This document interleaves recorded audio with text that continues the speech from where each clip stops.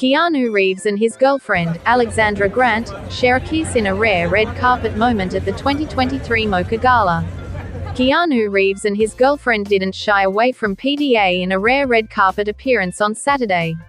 The pair were photographed attending the 2023 Museum of Contemporary Art Gala at the Geffen Contemporary in Los Angeles, California.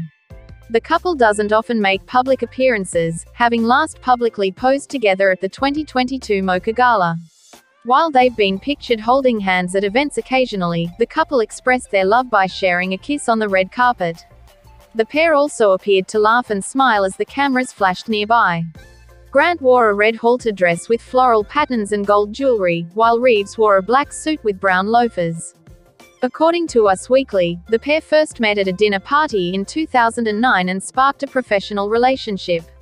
Reeves and Grant later collaborated on his first poetry book, Ode to Happiness, in April 2011, with Reeves writing the poetry and Grant creating the illustrations.